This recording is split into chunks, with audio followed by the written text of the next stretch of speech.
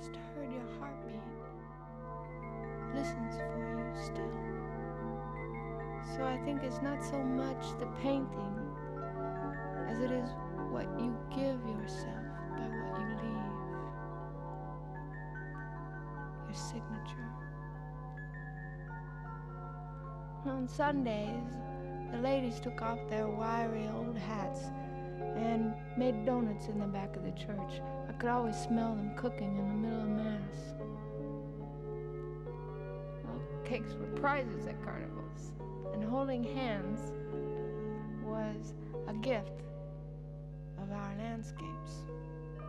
Because the heart is always that one summer night, and you stretch it from face to face like chewing gum. You can rig it up and hear each other through a tin can. But now it bakes and it hardens like an old